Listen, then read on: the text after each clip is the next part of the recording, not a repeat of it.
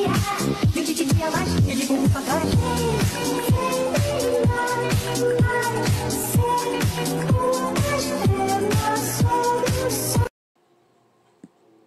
guys, so this is What If Deku was, well, you read the title, if you didn't, this What If Deku was Superman's son. Now, by the time this comes out, um, part 2 to What If Deku was Todoroki slash Iceman will already be uploaded. So basically guys, I recording this video right like seconds after I uploaded that video. So, yeah guys, so basically, um, Deku will be well, Superman's son.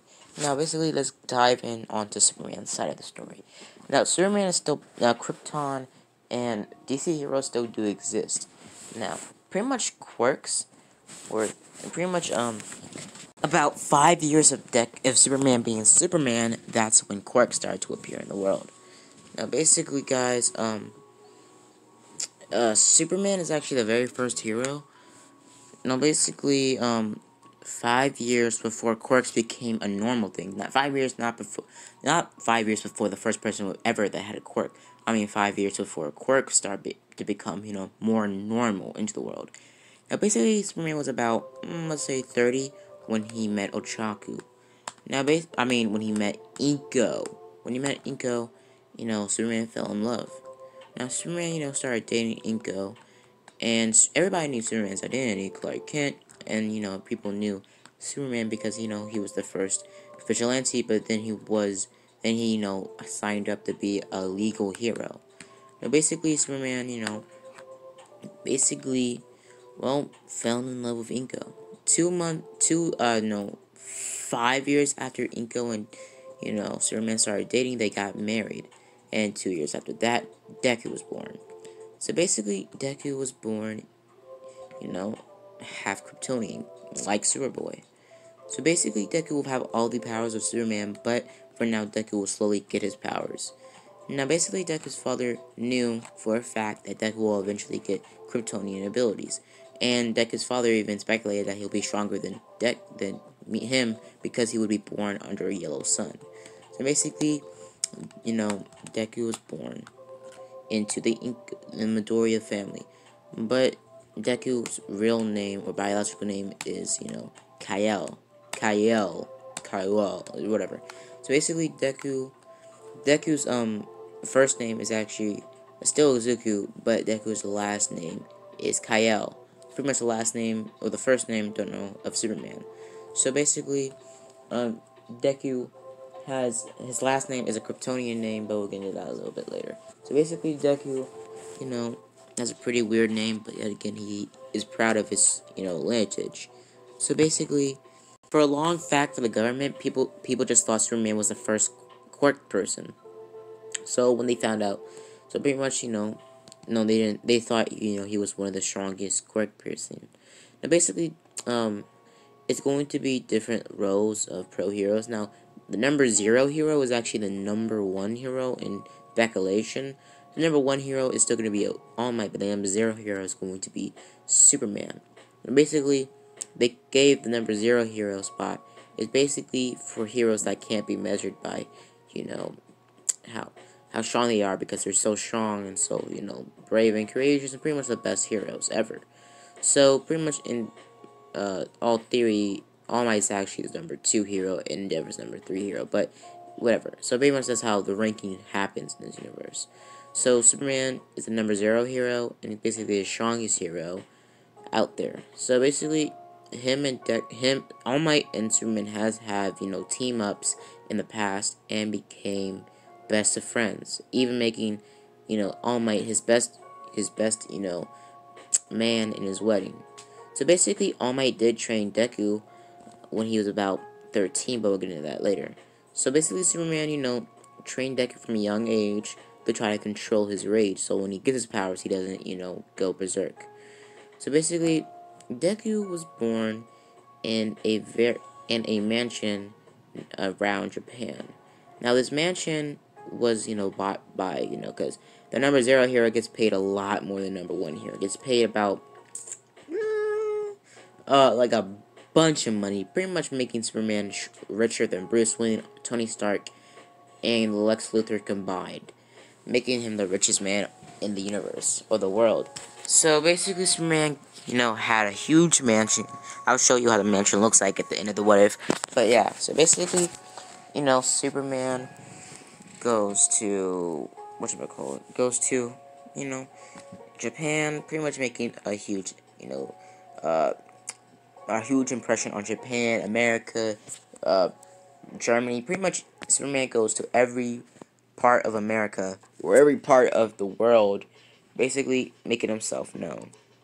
Superman at this point has made himself known to become, you know, the most, pretty much making him the actual symbol of hope. You know, All Might is the, is the second symbol of hope. But, yet again, you know, Superman is still the real, you know, main person that symbolizes hope in this universe. So, Deku, everybody knows about, you know, Deku's son. Well, everybody that goes to Deku's school. Now, Bakugo actually really already had respect for Deku because everybody in his school knew that Deku would get a strong quirk because his father is a number zero hero. Or I might say zero, number zero hero. So basically, Deku was praised as a kid because everybody knew that Deku was eventually going to get a very powerful quirk. Now, basically, Deku, Deku's powers activated one day, one seemingly weird day. Now, basically, Deku's powers didn't activate when he was, you know, about, mm, when Deku was about 10 years old, about a couple years after, you know, Bakugo got his quirk. Bakugo thought Deku was just a late bloomer. That's what Deku told him, because Deku's dad always told Deku that he would get a power, even at a young age. He said, one day you'll have immense power, like me. Basically, when that day comes, come to me, son, as fast as you can, and I'll train you. So basically, Deku, you know, pretty much being 10 years old and Bakugo being 10 years old as well, they pretty much walk. You know, they become, they still are friends, but Bakugo, you know, still feels like he's, well, has a cockiness to him, making him feel like he, that deep down inside that he's better than Deku. Pretty much, you know, still being cocky towards Deku and calling him a nerd. Because Deku is very smart, kind of like how Superman is smart. So, you know, Deku is pretty smart. Deku also has a natural toned body. Basically, Deku has the same body that he had during the 10 month arc training by the time he's 16 without any training. So basically, Deku, you know, we skip a couple years and Deku still hasn't had his powers and Deku's about 13. So basically Deku, you know, and Bakugo pretty much in school and Deku, you know, starts getting bullied like he's quirkless. Deku still keeps on getting bullied and all that other stuff. He's he isn't bullied bullied, isn't called a nerd or said to you know kill himself. Basically, they just bully him because you know they feel like he's quirkless and his father hates him. So basically, Deku, you know, feels like everything in the world's going down. But one day when Bakugo and his goons try to bully Deku, De something happens. They try to bully Deku and and Deku um I should tell you how Deku looks. Now Deku has a you know fetish with um Superman merch. And Deku gets all every single bit of Superman merch because Deku's father knows that he loves, you know, Superman merch. So Deku's father brings Deku merch and action figures like pretty much every day. Deku is still into action figures because, you know, he's a nerd. Basically, Deku, you know, pretty much is really, you know, interested in hero merch. Deku has all sorts of All Might hoodies and posters, and especially has more Superman merch than All Might merch altogether. Now, basically, Deku wears this Superman hoodie and ripped up jeans and red shoes like in canon. Now, these red shoes are Deku's red shoes, but yeah, now, I should explain how Deku looks genetically and how he looks, you know, in the face. Now, Deku has, still has green eyes, but Deku has black hair, and Deku has, um, yeah, Deku has green eyes and black hair, so that's the only thing that really changed about Deku's looks. Now, Deku doesn't have freckles, so that's a pretty, you know, a pretty drastic change from Deku's design. So, yeah. So, basically, Deku, you know, pretty much goes through life getting bullied. Now, when he's getting bullied by Bakugo this one time, his powers actually do activate. Deku starts, you know, getting pummeled and beat up by Deku. I mean, Bakugo. Bakugo throws an explosion at Deku, and Deku catches his hand, pretty much stopping the explosion in thin air. Deku looks at him and says, awesome, and his eyes glow red, pretty much grabbing and squeezing tighter on Bakugo's wrist, breaking Bakugo's wrist completely, throwing Bakugo into a wall, making a crater, throwing him through the building. Deku looks at his goons, and his goons cower in fear, and Deku flicks them upside the head, sending them flying a couple feet away. Now, basically, Deku sees this awesome, and looks at his hands like he's, you know, a god. And basically, Deku jumps up, but nothing really happens. Now, Deku notices that he only has super strength, so Deku starts running off. Deku's running, running, running, and Deku notices that everything around him starts slowing down. Now, Deku's father did explain his powers to Deku at a young age, so Deku knew, so Deku would know what's going on when he gets his powers. So Deku starts running and see that everything around him slowing down. The cars, the people, the birds, the chirping, everything's slowing down. Pretty much Deku, like, flash type of speed. Deku has super speed like, you know, Superman. So Deku starts running around, seeing that everything's slowing down while he's running, making him incredibly fast. Deku either takes a, you know, goes through a little bit of a stop towards the ice cream, the ice cream shop, grabbing, you know, ice cream and pretty much leaving cash on the table and running off. So Deku, you know, eats his ice cream pretty fast and eventually he gets to his mansion or his house near Japan. And Deku runs there and runs into the house see that Inko is, you know, on the couch, pretty much, you know, doing some bills. Now, basically, Inko doesn't really have to work because, you know, her, you know, husband is loaded, and also they already have enough money in their account, so Inko doesn't have to work. Now, pretty much, Inko is working, and she hears a huge wisp of wind, or feels it, and looks up and sees Deku standing over her on the desk. Inko tells us tells you know Deku to get off the desk, yelling at him, and Deku jumps off the desk and says, "I have my quirk. I have my powers." D Inko, you know, gets a pretty you know shocked impression on his on her face and gets really you know excited. He say, "Oh, we should call your father." They call Deck. They call Superman or you know Clark, and pretty much Superman shows up. They show Deku's father, and Deku's father shows up. Deku's father looks at Deku and say what's the problem. And Deku shows Deku Deku shows um, his father's you know he, Deku shows his father his powers. Sorry guys, and pretty much he throws you know a tree around in their mansion a couple of feet out of the you know pretty much area they own. Pretty much you know throwing it pretty far. Clark or Superman gets really excited and says you have powers and pretty much picks up Deku saying that you're finally going to be able to become a real hero. I was waiting for this day for years. Pretty much Deku, you know, starts getting trained immediately, getting trained about his powers. Now, for now, the only power Deku doesn't have mastery of is flight, and Deku doesn't have his ice breath yet. Now, Deku doesn't have his ice breath, but Deku can, you know, make many tornadoes in his mouth. Or pretty much something like Deku can, you know, shoot a pretty pretty strong wisp of air, but not enough to make ice. So, for Deku's flight, Deku can only super jump, so the only way Deku can get into a situation, or out of a situation, or get to a situation, Deku has to use a super speed, or a super jump there. So that's the only way Deku can get to area to area super way. So basically, Deku, you know, develops all of his powers, having invulnerability, super strength, and all other sorts of stuff. So, Deku, you know, pretty much is told by his father that, you know, you're going to be a great hero. And pretty much, you know, train Deku in the combat and, you know, training. Now, Deku already has a pretty toned body naturally, so all my Deku didn't have to be trained that much on his physical body. Now, Deku, if Deku was ever exposed to Kryptonite, Deku would be able to fend for himself because Deku would be half Kryptonian. Of uh, Deku would be half um, Kryptonian. Deku would still be weakened by Kryptonite, but not as much as you know, uh, Clark Kent or, you know, Superman. So, Deku would still be able to fight like an average Joe if he was exposed to Kryptonite. So, he wouldn't be completely hopeless like Superman. So, basically, Deku, you know, Deku was exposed to Kryptonite once by when he was 16 before, you know, his last day of UA. Or last day of, um, of his school where he goes with Bakugo. So basically, Bakugo hasn't wasn't told by Deku yet about his abilities, and pretty much, you know, De didn't know he had abilities, but he just wanted to know if Deku told him. Now, Deku never told him because, you know, he already knew Deku knew, Bakugo knew. So Bakugo, you know, pretty much never got mad. Will never get mad because, you know, he already knows Deku has superpowers. So basically, you know, Deku, you know, has all this power.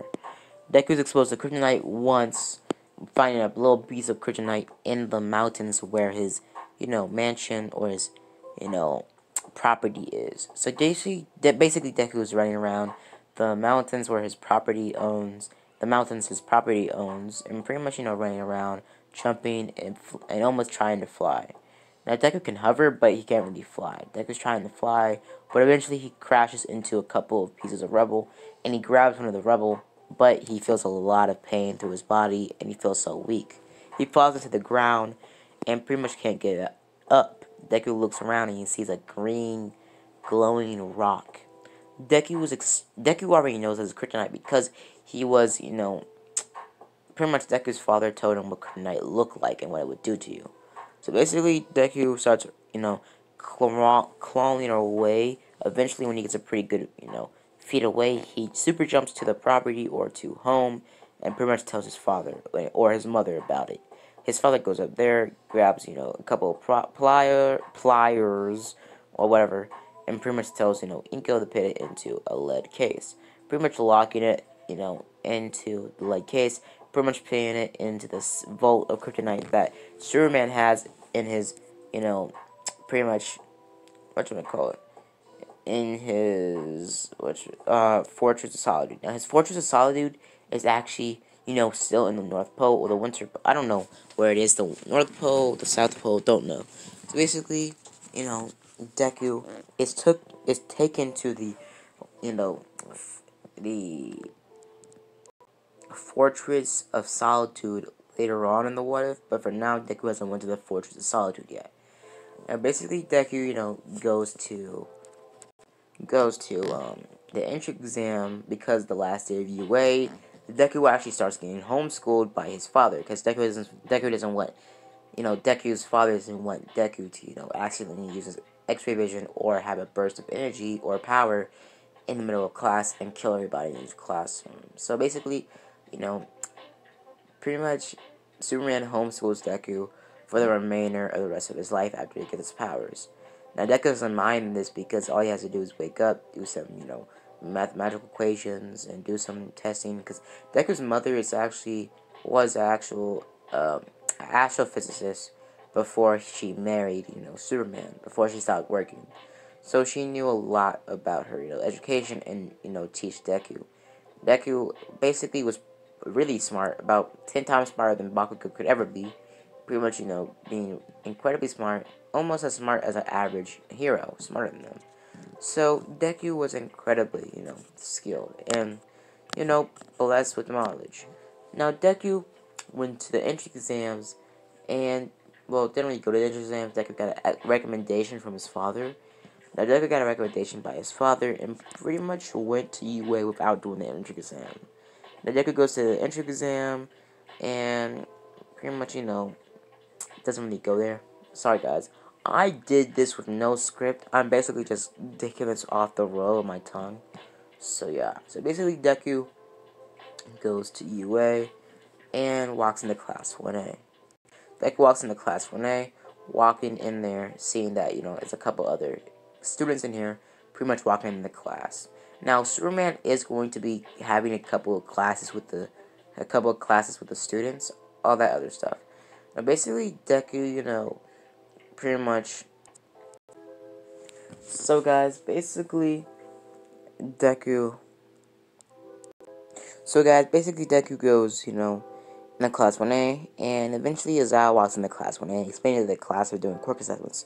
Before that happens, Deku actually gets crowded by a bunch of girls because you know Deku is the son of Superman. Everybody everybody knows that because they were told, um, or you know they knew because they knew a certain name, Clark Kent, a, a kid under the name of Clark Kent was going to UA, and they put two together and found out you know Superman's son was going to UA. Obviously, everybody knew that because you know he's the son of Superman. He's obviously going to go to UA. So basically, Deku, you know, looks at everybody and pretty much they start asking Deku's question questions about him and also his father, pretty much talking to him, trying to you know flirt with him and some of the kids or the, some of the girls trying to, you know, get his number. But eventually Aizawa walks in class and explains to the class they're doing quirk assessments. They get ready and pretty much they're told to go back, you know, to their seats and they get ready and get in their sports, you know, suits or you know their their um, gym their gym clothes. So they get ready and pretty much Deku gets in his gym clothes and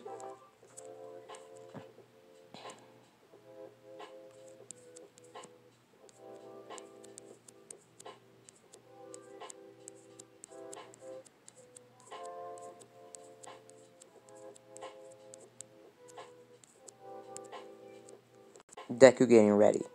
So guys, basically, Deku, you know, going to UA. Uh, I mean, Deku getting into his sports hero costume, or so you know, his gym clothes, and gets ready. So Deku is told to throw the ball first, and Deku grabs the ball, chucking it out of the atmosphere, getting getting a you know a really good throw, getting infinity. For the long jump, Deku aces it, doing a super jump. The race, Deku aces it, and pretty much the grip, the grim, the grip test strength, Deku aces it. So in total, Deku gets first place, Todoroki gets second place, and Deku gets third. Uh, Bakugo gets third place. So Deku altogether gets a pretty good score, awesome score. So the rest of the class they get the same score but just lower down, and yeah. So guys, basically Deku, you know, um, is pretty much gets crowded by the girls in class, pretty much getting told or you know asking Deku about his father and him and you know how how strong are you? Pretty much saying that you're really strong. Pretty much you know some of them saying that you do you have a girlfriend. Pretty much you know just trying to get Deku you know to get interested in him. And pretty much Deku you know says back uh, please I don't, I don't want. Pretty much Deku still has that Deku personality, but doesn't have that Deku you know doesn't have that you know Deku pushover you know, type of thing. You know what I mean? Like, Deku was in a pushover, but yet again, he's still nice like Deku in canon. So, yeah. So, basically, you know, Bakugo scoffs at this and getting really mad that Deku's, you know, pretty much getting all this attention. Now, basically, Deku sees that, you know, Aizawa tell, tell some of the students out of here to get out because he was real, he was serious about the whole know, thing with the expelling. Now, he did explaining that, but I didn't say anything about it because, you know, if you have seen UA, you already know what I'm talking about. Or My Hero Academia. Sorry, guys. So, basically, um, Deku, you know, gets to get sees that, you know, or he uses his super hearing to see that Mineta gets expelled.